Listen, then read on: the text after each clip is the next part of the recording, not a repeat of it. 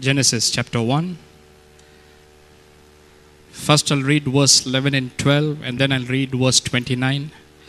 Genesis chapter 1, verse 11 and 12, and then I'll read verse 29.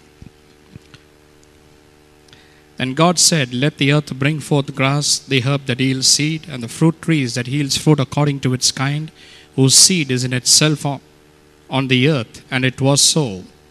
And the earth brought forth grass, the herb that yields seed according to its kind, and trees that yields fruit, whose seed is in it itself according to its kind. And God saw that it was good.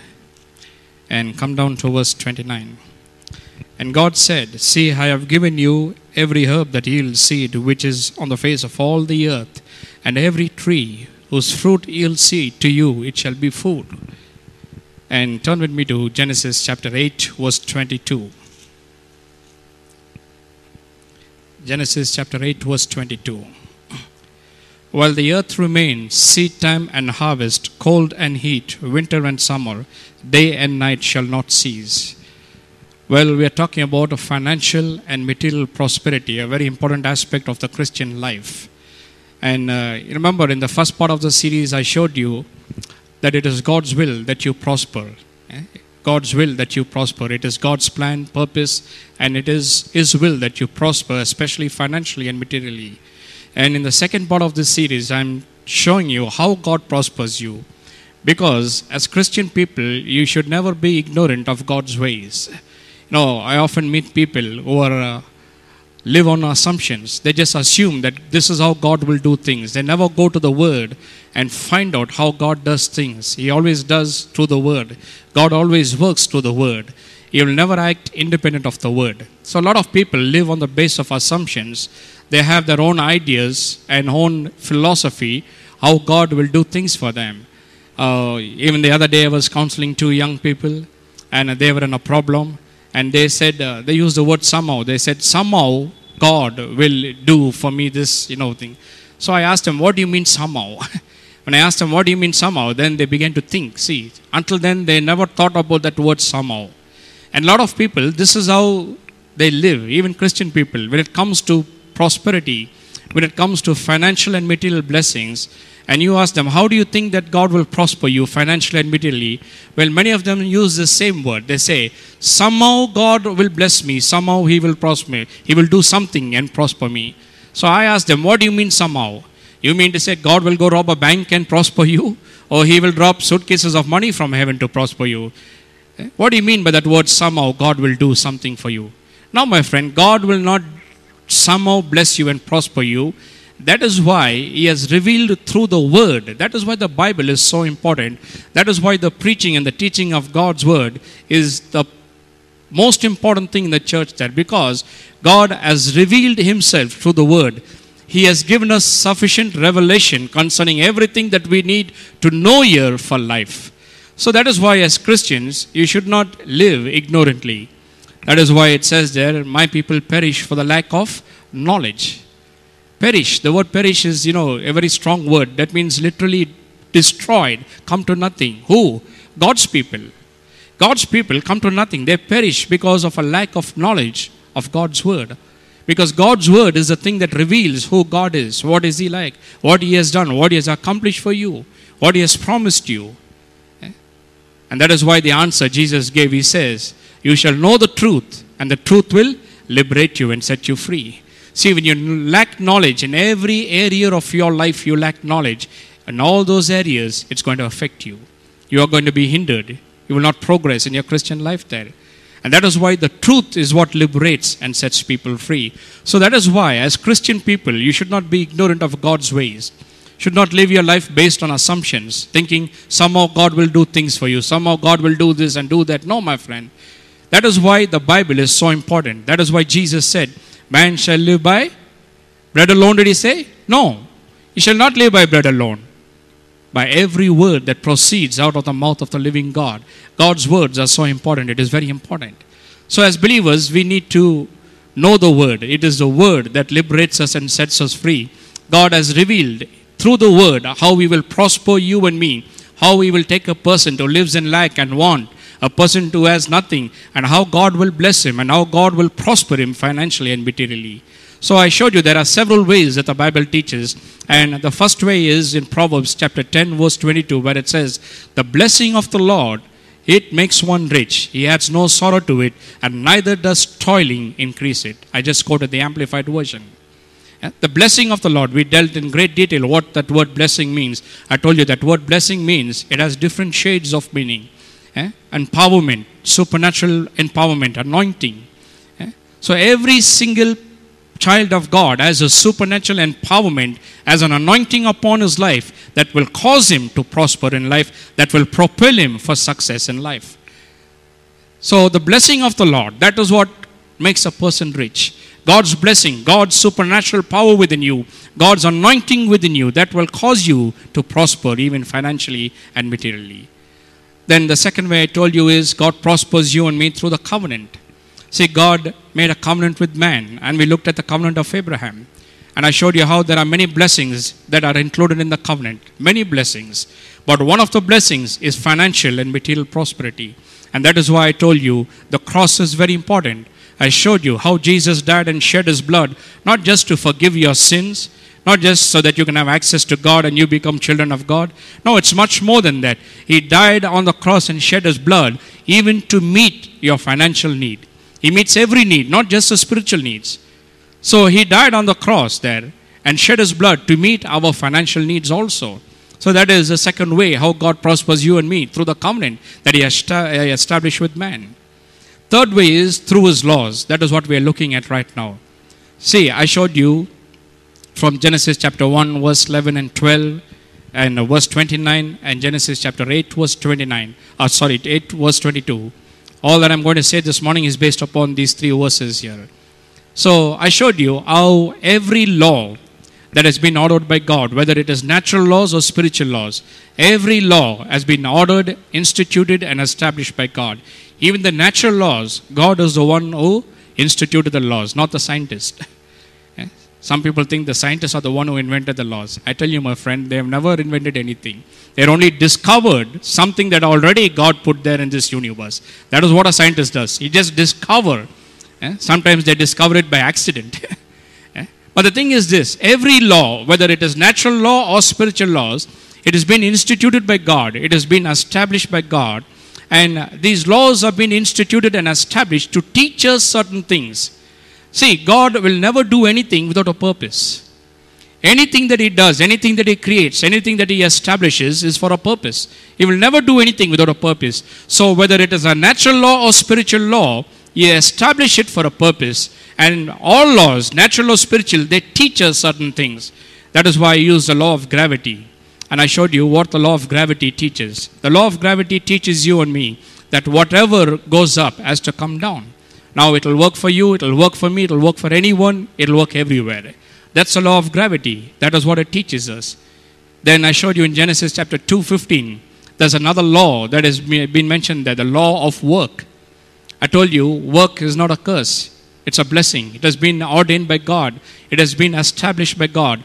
God is the one who has ordered man to work, has given a command to work. In Genesis 2:15, he created Adam and Eve, put them in the garden there, and even though there was abundance of everything there, fullness of everything there, even though they had everything, more than enough there, still God ordained man work. God gave man an assignment there. He wanted him to work. So it's not a curse, it's a blessing. Sweat is a result of sin and curse, not work. I told you many people hate the word work there. But God is the one who ordained work. Now, why God instituted work? Especially in the beginning when He put Adam and Eve in the garden because they had everything in abundance. Then why they needed to work? Because I told you, work was never meant for a salary. God never told him, You work and I'll pay your salary. Or Adam never asked God, Well, I'll work and you pay me a salary. Work is not for a salary, my friend. Today, that is what we think. Eh? The first thing that we want to know is, What is my pay? How much you will pay me? But I showed you how God never intended you or never intended work for a salary. See, salary is only man's idea. Abundance is God's idea. Amen. God knows very well that no matter how much salary you get per month, it will not be sufficient for you. Even if you say, well, you know, sometimes we say, I told you, we say, well, if I only get one lakh, I'll be happy in life. There'll be no problems. Well, I'll guarantee you, you get one lakh every month. Sooner or later, you'll discover you need two lakhs to run the show. that is why the Bible says you shall live by faith, not by a salary. Why? Because what you get this year will not be sufficient two years later for you. So God never intended work for a salary. God intended abundance. That is in God's mind. That, that is God's idea. This is how God thinks and does things there. So, work is not for you to get a salary. Work is to bring out your potential, bring out your abilities. See, every single person that God creates in this planet, every person that is born on this planet, is born in a unique way with unique gifts and potential and abilities. God never creates good for nothings and fit for nothings. Every person is a unique person, uniquely gifted he has unique abilities and capacities and gifts and talents. And that is why God assigned man work. Why? Because only when you work, only when you begin to do things, you begin to discover your potential within you. I can use an example of Brother Isaac Thomas. He's a singer. If he doesn't sing, he will never know the potential that is in him. Only when he begins to do it, he'll discover the talent and the potential that God has put within him. See, this is why work. Eh, to bring out the potential within you. So, in the same way, God has ordered this law called seed time and harvest time, sowing and reaping. What does this law teach you? This law teaches you how you can be the poorest of poor person and how you may be a person to say, well, I have only little and what I have is not enough. You know, it's not enough to pay my bills, not enough to pay this and pay that. Well, this is what this law teaches you, man. This is why God has ordained this law of seed time and harvest time, of sowing and reaping. Why? To teach you how you can take that little and how to cause that little to become abundance. Every law teaches something. And this is what the law of seed time and harvest time, the law of sowing and reaping teaches you and me. It teaches you how God takes the little that you have and how He prospers you and blesses you and causes you to have abundance from that little. See, this is how God works and does things, not somehow in any way. God doesn't work anyway and every way. No, He works in accordance with His principles. God works in line with His word. He will never do something apart from the word. So, from these verses, I made four statements. First thing I told you is that it is God who gives seed to the sower. That is what we read there in Genesis chapter 1, verse 11 and 12, and verse 29. God is the one who gives seed to the sower. The second thing is, I, show, I showed you from that verses that every seed has the ability to reproduce after its own kind. Eh, see, this is the law of the seed. Apples, when you sow apple seeds, you will get apples only. Every seed has the ability and the power to produce after its own kind. You sow tomato seeds, you will get tomato. You sow orange seeds, you will get oranges. It has an inner life system within it. God has commanded an inner life system. And every seed is bound to produce after its own kind. Third statement I made is this I showed you not only produce after its own kind, but every seed has the ability and the power to multiply and bring forth a harvest to you. Fourthly, is God has given us different seeds for different harvest. That's wonderful, isn't it? In other words, He's saying, whatever you want abundance of, whatever you want a harvest of, I give you the seed. All you have to do is take that seed, go and sow it, and you'll get a, a harvest of what you want. Different seeds for different harvest. Whatever you want, you want plenty. Whatever you want more of, is give you seeds. So you take it, you just obey His principle, obey the law, you sow it, and you get abundance of whatever you sow. That is what even Paul says whatever a man sows, he will reap. Now, this is a general principle. It will work in anything. You sow love, you'll reap love. You sow hatred, that is what you'll reap. Whatever you sow, you will reap a harvest of it. So, because we are talking about financial and material prosperity, we are using it in finances. And I showed you how in 2 uh, Corinthians chapter 8 and 9, Paul is actually talking about money there. And he talks about when money becomes a seed. Because some people may ask, well, that is talking about seed, but you are talking about money. When does money become seed? Well, Paul says in 2 Corinthians chapter 9, he says, when money given for the gospel work, when it is given for the kingdom of God, it becomes seed. Isn't that amazing? Money, when sown into the gospel work, it is seed. When you give it for the purpose of God, it becomes a seed. And that is a time when it begins to multiply and comes back to you. So these are the four statements that we concluded from those few verses there. And we are looking at the first one. Turn with me to 2 Corinthians chapter 9, verse 10.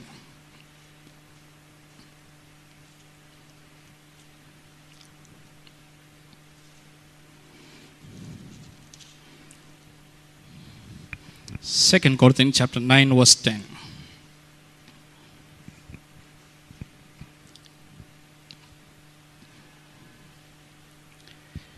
Now, if you read from the King James Version, uh, this is how it goes. Now may he who supplies to the sower and bread for food supply and multiply the seed that you have sown and increase the fruits of your righteousness. Now, the King James Version uses the word may, and that word may is a very unfortunate translation. translation.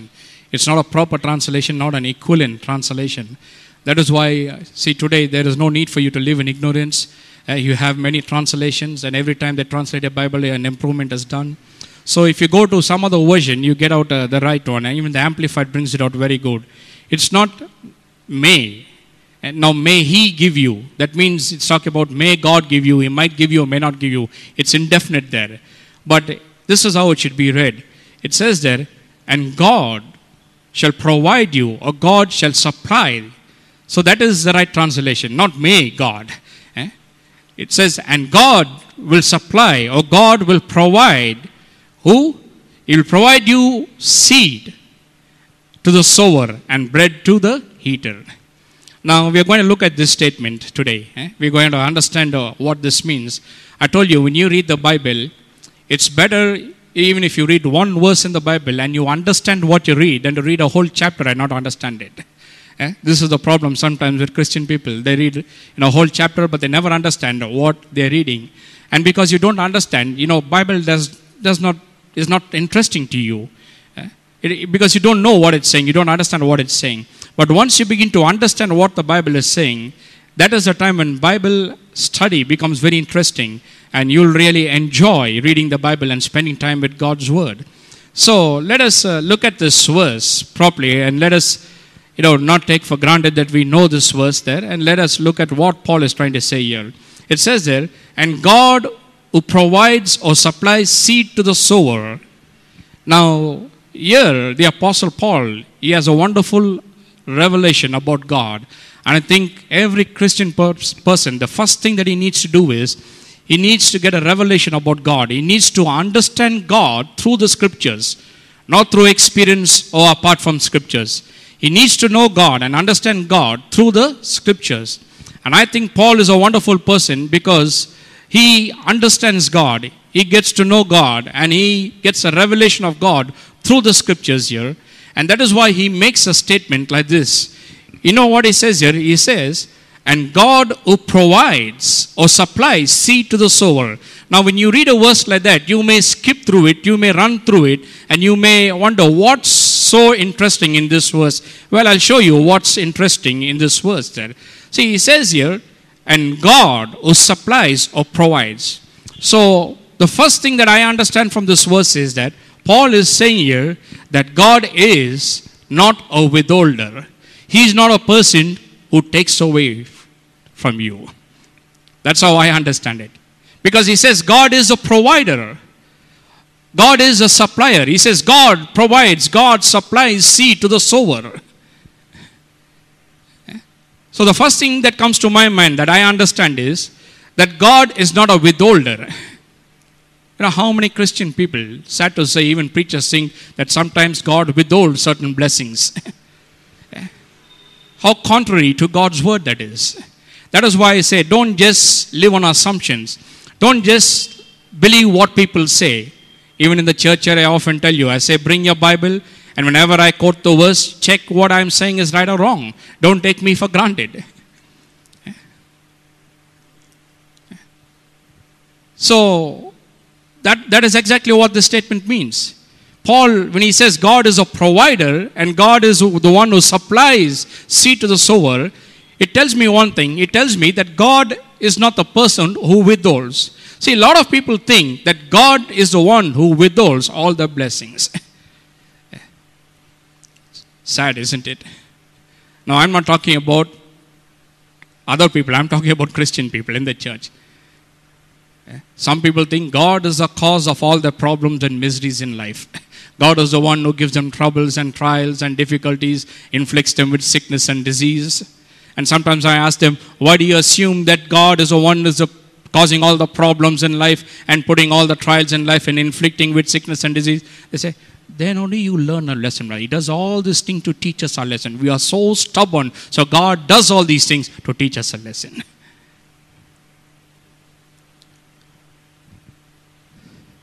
a basic revelation of God you need to have, my friend, through the scriptures. You need to know and understand God.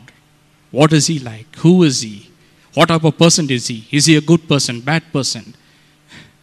When I ask people, sometimes, you know, people, is God good or is He bad?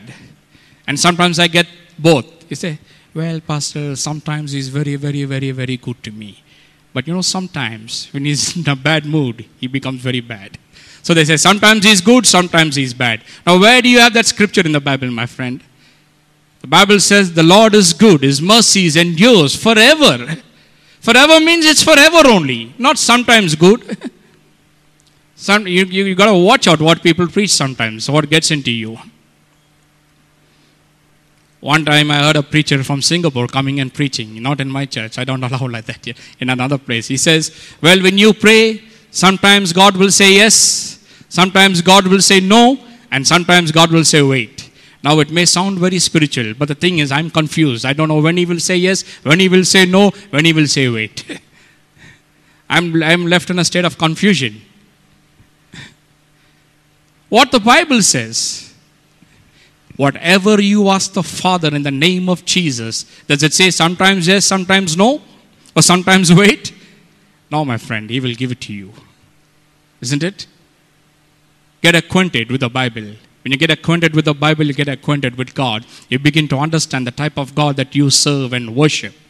You begin to know Him intimately. You begin to understand His ways. You begin to know His heart, His mind, His plan, His purposes, whether He's good or bad. And this is one of the things we understand from this statement here that God is a provider. God is a person who supplies. He is not a person who withholds anything from your life. I show you from the scriptures, my friend, if something is good for you, if something will make you happy, if something is going to make your life better, and I say to you, based upon the authority of God's word, that God will see to it that you have it. Amen. God will see to it that you have it, my friend. God never withholds anything good from your life. God is not even a taker from you. yeah? We have a lot of Christian Jobs today in the church. They say, Well, the Lord gave and the Lord took, brother. well, the Lord gives, my friend, He doesn't take. He's a giver. Everybody say He's a giver. Well, you all had breakfast, I think. Can you say it better? He's a giver. yeah, he's a giver. He's not a taker. Don't get afraid of God. A lot of people are afraid to come to church thinking God will take away whatever they have. No, my friend, God is not a taker. He's not a withholder. He is a giver. And I tell you, nobody can outgive God. No man, no one can outgive God. He is the best giver, and when He gives, He sees to it that He always gives the best. That's the type of God that we worship and we preach here. Amen. He always gives the best, my friend. So when you read a statement like that, that is what comes to my mind. And that is what, see, Paul understand all these things. That is why he makes statements like this. In another place he says, in, in the book of Philippians, he says, My God shall supply all my needs according to his riches and glory that is in Christ Jesus. He doesn't say, My God takes away whatever I have. Sometimes he's good, sometimes he's bad, sometimes he gives, sometimes he takes. No, my friend. Here is a person who has a revelation of God, who understands God through the scriptures, and he knows God. He knows that God is a giver, that God is a supplier. He is a giver of every good thing. So God does not withhold anything from your life. If something is good for you, He will give it to you. He is not a taker. He doesn't take away things from you. No, He gives. John 3:16, what does it say there?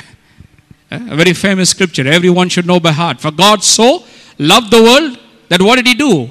He gave his one and only begotten son, the best gift He gave his own son to die for sinners who are not worthy. he gave the best gift, my friend. He knew if he gave Jesus to die, then mankind will be saved. See, he will never withhold anything that is good from you and me. He never withheld Jesus because he knew if he would just allow Jesus to die there on the cross and shed his blood, then the entire humanity have an opportunity to be saved. Every single person can be saved because of Jesus and what he has done on the cross there.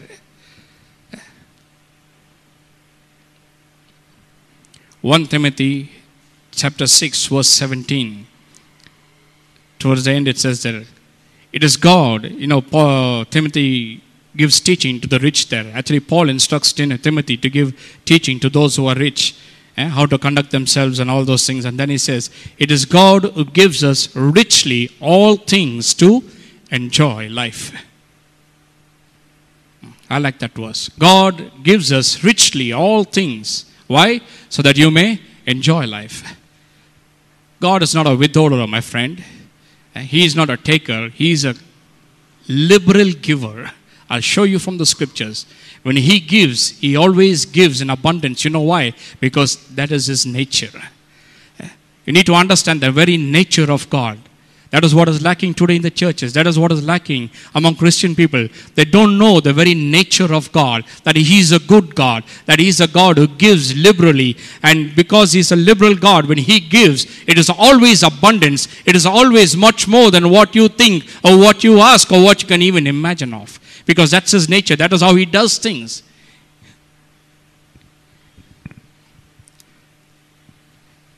So 1 Timothy 6:17 says, he gives us richly all things to enjoy life. He doesn't take, He doesn't withhold, He gives. If something is going to make your life better, if it's going to make you happier, I tell you, then God will see to it that you have it. I always use the illustration if you are a parent, eh, if you are a father and mother, and you, if you have a child, and if you know something is good for your child, I tell you, you will go to any limit to do it for your child. Because every parent wants to give that child the best. I told you, I know parents who want the children to have the best education. They want the children to be put in the best school there. They want to give their children the best in life, isn't it? Now, if you and me, earthly parents, can think like that, then how much more our Heavenly Father? How come you think He's a taker and He's a withholder? No, my friend. If something is good for you, if something is going to make life better for you, and if you're going, it's going to bring joy to you, then God will see to it that you have it. Because when you are happy, He's happy. Eh? When you see your child happy in life, I tell you, the child is happy because you have given the child a wonderful thing. But the parent, the father and the mother, is much more happier because the joy of that child is the ultimate for them.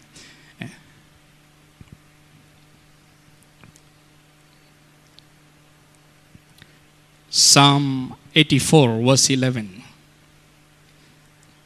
It says that he will not withhold anything good from them that walk it uprightly. Are you walking in God's ways? Are you walking in his paths? I tell you, this is what the psalmist is saying. He will never withhold anything good from your life. So God is not a withholder. He's not a person who takes away the little that you have. No. He's a person who will never withhold anything good from your life. If something is good for you, He will see that you have it. Again in Psalm 68, verse 19, it says that, who, uh, who daily loaded us, loads us with benefit. I like that. Every day He loads me with benefits. So, all these scriptures, not only here, all these scriptures tell us one thing very clearly that God never withholds anything good from our lives. If something is good, then He'll see to it that we have it. He's not even a taker, He doesn't take anything from us, He's a giver. So that is what it means there when it says there. Paul is talking about that and he says there. And God provides or supplies seed to the sower. Now, the thing is, when you read the statement, I want you to understand who God provides here. Eh? Because it's very accurate here. Paul says, God provides or God supplies seed to the sower. So you got to get a clear understanding about who God supplies. Now, I told you he's not talking about seed here. He's not talking about how God will give you seed so that you can go, you know, and sow it and get tomatoes or get apples or get mangoes. No, he's talking about money here. Second Corinthians chapter 8 and verse 9, he's talking about money here. Money giving given for the gospel work, money given for the kingdom of God, it becomes seed. So he's talking about how money becomes seed and how money is seed. And he's talking about how God gives seed to the sower. In other words, I would say God gives money to who? To the sower. so who God gives money? Not to everybody and everybody. He says, yeah, God gives money to the sower. Every one of you have money? Don't worry, I told you this is a church where you don't have to hide anything. some churches you may have to hide your things. I know some, some, you know, some places where you go, if you buy, you have, if you have a luxury car, you cannot take it to the church because if you drive that luxury car to the church, the next day the pastor is at your home. Some places, you know, you can't wear certain things and go. because, you know, if you put on all those chains and those bangles and, you know, and you go to church, next day he's at your home there. One time I was shocked when I seen a young, you know, group of young people. They were about to enter into a church. And before they could enter into the church, they just stopped outside there. They removed all the chains, all the bangles, all the earrings, everything, put it in that little purse that they had, and then went to the church. And when they came out, again they put it on and went back home. So here, you don't have to hide anything. You don't have to get afraid about anything. Amen? I always tell people, you can't hide the money. When God begins to bless you, you cannot hide it, my friend. No matter what you try, you cannot hide it. It'll show up in the way you look. It'll show up in the way you dress. It'll show up in the things that you wear. It'll show up in the you know, car that you'll drive. It'll show up in the house that you It'll show out. You cannot hide money and keep it. It will show. So don't worry about it. Show it out. Amen. You don't have to hide it. Don't get afraid about it. I'll not come to your home next day.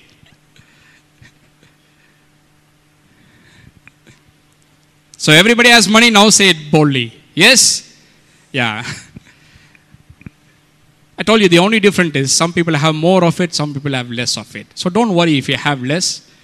That is why God's word is here. And that is why I'm here to teach you and to show you the principles of God God is such a wonderful God. He has ordained things to be so easy. He made things so simple that anyone, the most educa- uneducated, the most illiterate person, and the most poorest of poor person, even he can prosper if he just obeys the principles and the laws of God.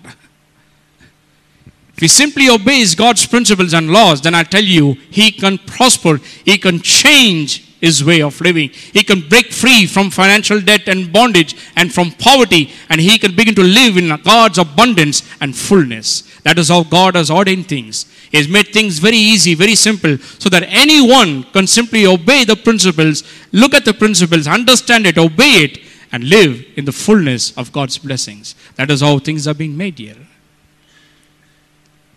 So, according to this verse, God provides or God supplies seed to the sower.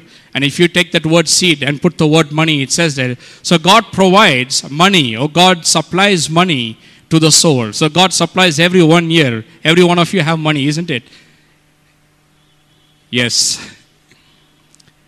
If you say, well, I don't have money, then let me say three things about that. You either fit in one of these categories. If you say, well, I don't have money, I don't have seed, Number one is you must be a liar. I choose to believe God's word. God's word is always true. The Bible says God is not a man that he should lie. Eh? Man will lie, but God cannot lie. Eh? And God is the one who created man. So I choose to put my trust and faith in God's word. Eh? So God says that He's the one who provides, He's the one who supplies everyone with money. I want to show you something here. He supplies everyone with money. He provides everyone with money. So everyone has it. Some may have more, some may have little. That doesn't matter. But everybody has money. So you can't say, I don't have. If you say that, number one, you're a liar. Second thing, if you say, Well, I don't have money, then the second problem is probably you are eating all the money.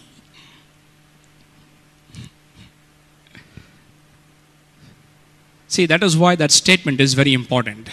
See how important it is when you read your Bible. You should never read your Bible in a hurried manner. You should never take the Bible for granted. Every single verse is so important. Every single word is so important. That is why Jesus said, Man shall not live by bread alone, but every word that proceeds out of the mouth of the living God. Every word that is written here is good for our living. It is important for our living, and especially living successfully, living victoriously in this life. Every word is important, my friend. Not one word here is unimportant. Every word is important.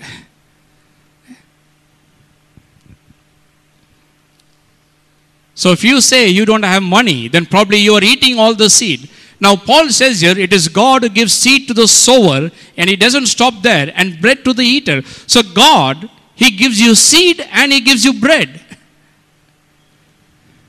He gives you both. He, he knows that you need both. You need bread to eat, you need seed to sow. That is why he gives you seed to sow and bread to eat. But what you do, or what many people do, they eat the bread and they eat away the seed also. I showed you how a lot of Christian people are living on the seed instead of living on the harvest. God never intended you to live on the seed, my friend. Seed is not for eating. Some people, it's like that. That's why no matter how much they have, it's never sufficient. You know why? Because the more they get, the more they begin to eat. they just eat away everything.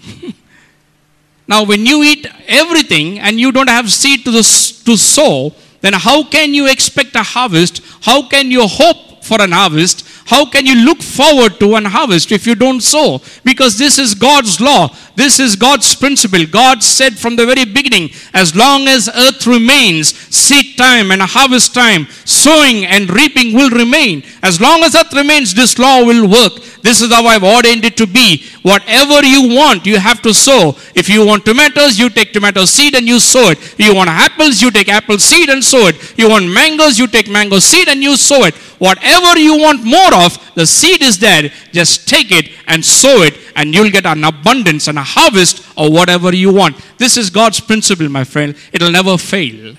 Last time I showed you how God has ordained a life system in every seed. That means every seed is bound to fulfill that life system. Every seed has life in it, and every seed has a life system. And I told you when the, when the seed is given an opportunity, then it will fulfill to perfection that life system. To perfection it will be fulfilled. Why? Because God has ordained it like that. Can you imagine a seed when sown, when given an opportunity, when it is sown, it will fulfill its potential to perfection. Because God has ordained it like that. So God's laws, God's principles will never fail. So God says there in 2 Corinthians 9 10, you know, Paul says there, God is the one who provides or supplies seed to the sower. That means He gives you seed for sowing, and then He also gives you bread to eat. So if you say that you don't have seed, that means you're probably eating the seed also. A lot of Christian people are deceived by just living on the seed when God wants you to live on the harvest. Well, the seed is for sowing. And why you sow? To get a harvest or whatever you want, to get an abundance of what you want. Live on the harvest, my friend. Don't just be satisfied with the seed and living on the seed. So if you say you don't have seed, then you're eating all the seed. When you eat all the seed, you have nothing to sow. When you don't sow, you don't have an harvest. Nothing coming forth.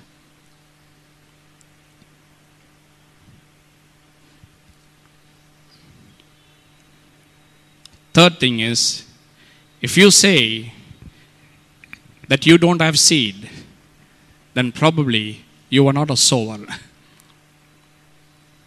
because Paul makes it very clear here. God supplies or provides seed to who? To the sower. He doesn't say God supplies or provides seed to the one who eats away the seed. no, my friend. He supplied seed to who? To the sower. See, that is why you need to understand that statement very much. Because, you know, sometimes people may wonder, you know, why I'm not prospering. When God wants me to prosper, why am I not prospering? Why am I not experiencing the abundance? that I'm supposed to enjoy in life. So he gives seed to the sower. Now the question is why God gives seed to the sower? Why he doesn't give it to anybody and everybody? Well, I'll tell you. God gives seed to the sower because when the person takes that seed and he sows it, not only is he blessed by that, he's blessed. Eh? It satisfies, you know, it meets all his needs. So not only that seed blesses him, but also it blesses the kingdom of God. That is why Paul says God gives seed to the sower. He gives to who? He gives the person who sows. Why? Because the person who sows, he reaps a harvest. So when he reaps a harvest, he is blessed. And not only he is blessed, he also blesses the kingdom of God. That means the whole purpose of the seed that is given into hand, in his hand reaches its full perfection. That is why seed. Why God gives you seed? So that it will bless you and it will bless the kingdom of God. It will bless the work of God. So that is why Paul says God gives seed to the sower, not just to anybody and everybody. because I told you God had put the principle of life in the seed, and every seed has a life system within it. But the thing is, if you take that seed and keep it in your hand, and you can polish it, and you can shine it, and you can hold it, and you can look at it, and you can admire it, but nothing will happen to that seed. It will still remain a single seed only. It may look beautiful, you can admire it and all those things, but it will still remain a seed only. The seed has to be sown. Only when it is sown, it will reach its full potential. Only then it will produce a harvest, uh, uh, uh you know, whatever you sow. It reproduces, it multiplies, and comes back to you as an harvest there. As long as it is in your hand, it will remain a single seed only. But when it is sown, it comes back as a harvest. So that is why Paul says God provides or supplies seed to the sower. That is why. Why? Because when he gets it, he sows it. And when he sows it, he gets a harvest. The harvest blesses him, and it also blesses the kingdom of God and blesses the work of God. So the seed reaches its full potential. That is the whole purpose why God gives seed, not to eat everything. So if you are a person to saying you don't have seed, then you must fit in one of these categories. now, just imagine if you were God and sitting down there in heaven and you have a bag of seed with you and you want to give the seed to somebody, so who will you give it to? Will you give it to the person who's just holding everything and keeping it there, burying it in his bathroom, in the bed, and everywhere? Will, give it, will you give it to such a person? Or will you give it to the person who's eating away everything? No matter how much you give me, he's just eating it. Or will you give it to the person who sows it and get a harvest of that? Who will you give it to? Yeah, you will give to the one who sows it, isn't it? Not to the one who hoards it and never to the one who eats everything. You will give it to the sower. That is why Paul says, and God gives seed to the sower. Now the question arises.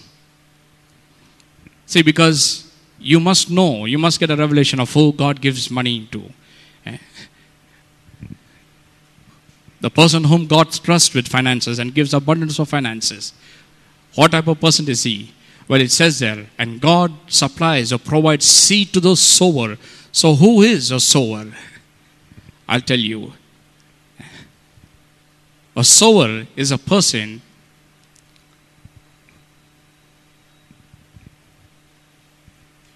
who has, oh, I, I would put it more accurately in this way, whose profession is sowing. I'll put it like that.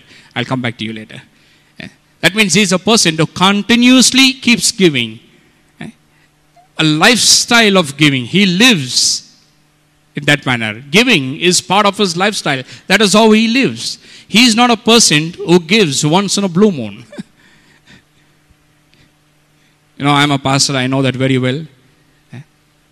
Not all people are there. There are some people. You know, sometimes, especially during Christmas and New Year, eh, many people come and give some faces I've, I've not seen. I don't know the person also. And they've not even been in the church. But Christmas and New Year time, they just bring a cover to me and they come and give it. Oh, Pastor, it's Christmas. You know, it's God, love, and we need to share God's love and this and that. And they'll give an offering and, you know, they'll say it is for God, it is for God's work. You just use it. But there are people, you know, once in a way, once in a blue moon, who will give money, contribute money to the work of God and to the church. But he's not a sower. A sower is a person who has a lifestyle of sowing. I would say that's his profession or that is his top priority. He is a sower. You got to know for sure who is a sower. A sower is a person who gives continuously. The Bible talks about giving. We'll talk about it later. Eh? How the Bible talk about how you need to give regularly, you need to plan what you give, how you need to give cheerfully. All those things that it gives guidelines for giving, not just simply giving. The Bible gives some guidelines to giving and how you can be blessed by giving. So, a sower is a person who has a lifestyle of sowing. That means he sows in a very systematic way, he sows regularly. He is a person who's constantly looking for ways to sow. He's a sower. Now, we call people, we look at people and we say, well, he's an electrician or he's a plumber. We say that, isn't it? Now, what do you mean when you say that he's an electrician or he's a plumber? Do you call him an electrician or a plumber just because once in a year he takes the tester and he mingles with electricity? Sometimes in Bangalore it's like that. Eh? You call him an electrician, you say he's a plumber. What do you mean by that? Is it once in a way because he takes a tester or he takes a spanner and go meddles with something that you call him that? No, my friend, that is his profession. He lives by that. Yeah? All his life, that is what he's doing. Yeah? That is his work. That is part of his life. So that is why we call him an electrician. That is why we call him a plumber. Because that is part of his life. And I tell you, it is same even of a sower. Just because a person once in a way sows, or once in a blue moon sows, or just sows on occasions there, he's not a sower. A sower is a person who has a lifestyle of sowing. Sowing is part of his lifestyle, it is part of his life. It is part of the way that he lives. So that is what Paul is talking about. He's talking about how God gives or provides or supplies seed to the sower, to the person who has a lifestyle of giving. Now you understand why people who give much have much. you know, today you look at AFT Chennai. People look at the church today, they look at the people there. You know what they say? Well, that is, you know, a rich church, brother. That is, you know, a church only for all the rich people because it's full of AC. All the people are so rich, they have cars and they have this and that. That's all they know about it. But they didn't know how he started. he started in a cemetery, in a hut. I had the great privilege of working there, and I seen how everything went on.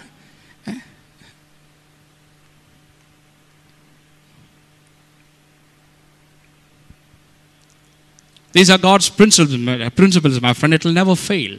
As long as earth remains, seed time and harvest time remains. Today, when they look at it, they say, well, it's a rich church. You know, it's a church of a, he has so much money and all that. But nobody knows his heart. nobody knows how much he gives. I know because I worked under him. I know every day how much it costs to run a ministry like that.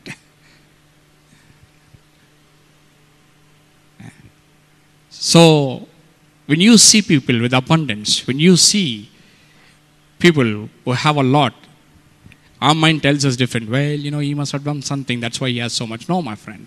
He's a person who has been sowing. Eh? that is why he has so much. So, a sower is a person who has a lifestyle of sowing. Sowing is his top priority. It's part of his life. That is how he lives there. It's not just once in a way where he, you know, gives.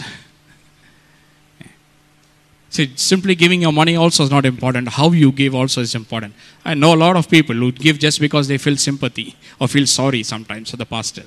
Well, if you give like that, you will not be blessed. Your giving will not be blessed. Even the person who receives that also will not be blessed. One time I asked a person who was giving money to another person, I asked him, Why are you giving that person money? What to do, Pastor? He's a poor person. Just feel sorry for him and giving.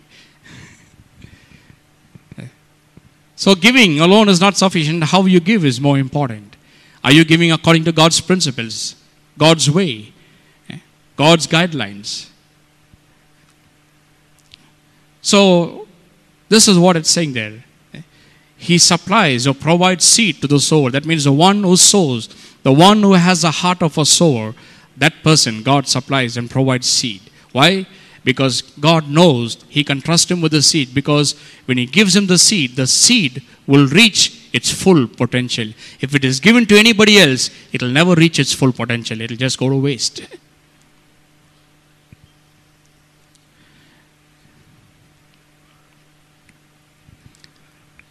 You know, for more than uh, I think 12 or 15 years, I've served and worked as an associate pastor in AFT Chennai there.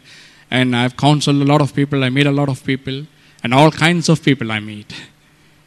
And one of the people, you know, I meet is, they say like this. Even after coming to Bangalore, many people have come to me personally, and this is what they've told me. You know what they've told me? They told me, Well, Pastor, I'm just waiting for that big deal. I'm just waiting for that big contract. And that moment that big deal and that big contract is over, you know, I'm going to get a big sum of money. When I get that big sum of money, surely 25% I'll give for the church. They think next day I'll come to the home. well, my experience tell me, tells me, and God's word tells me that givers are not talkers and talkers are not givers. I learned that. People who talk don't give. People who give don't talk. Sometimes preachers don't know these things. but this is what people tell me. And they tell me these things thinking that I'll be impressed by them. That I'll begin to give them importance, you know, and oh, let's keep in good terms with him because, you know, one day he's going to finish this big deal. He's going to finish this big contract. He's going to get a lump sum. And when he gets a lump sum, he promised me 25% and he will give me. So let keep in good books with him. well, I tell you, my friend, you know what the word says? It says totally differently.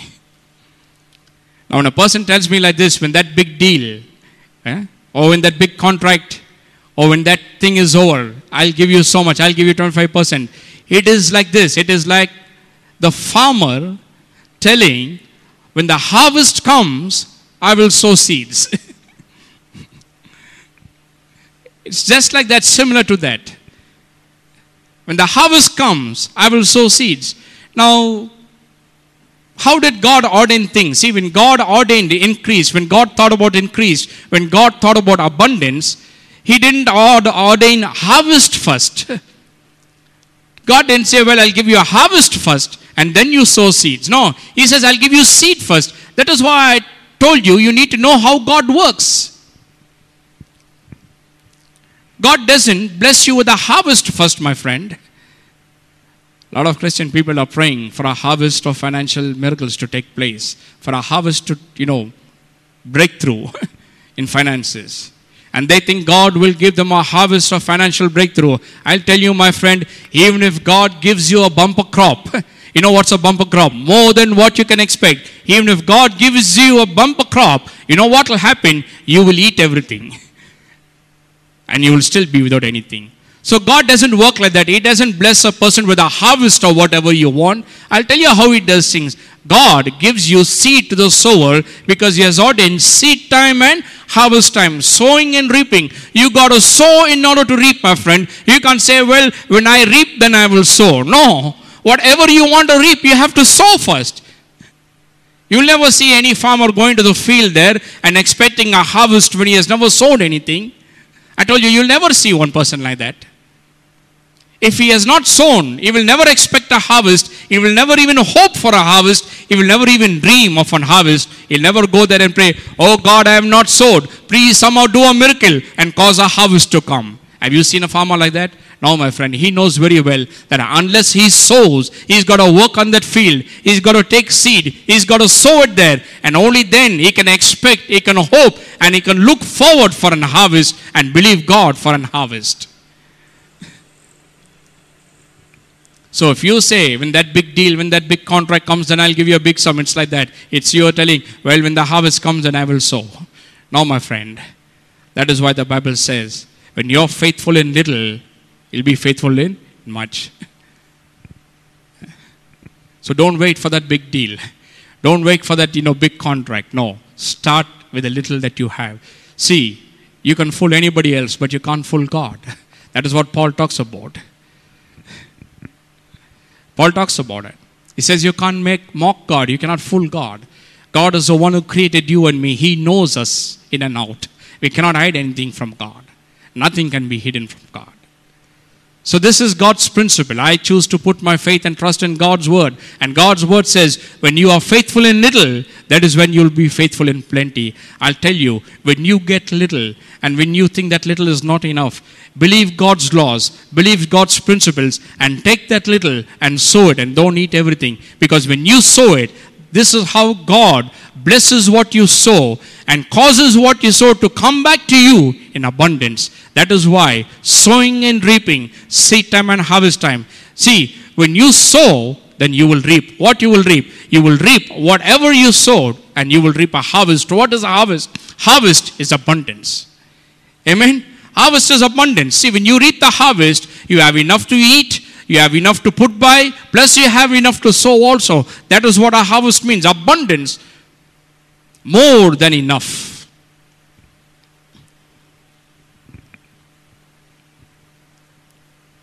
So when you are faithful in little, then God blesses you with a plenty. So that when you get plenty, you will be faithful in that. But if you say no, well, when that big contract, when that big deal comes, then I will sow a big amount. You know what will happen? The contract will come, the money will come in your hand, and you'll look at the money, oh, this is a big sum. And then you will say, well, God, this time I made a mistake, so I'll take back my word. Next contract when I get, then I'll give to the church. you will eat everything.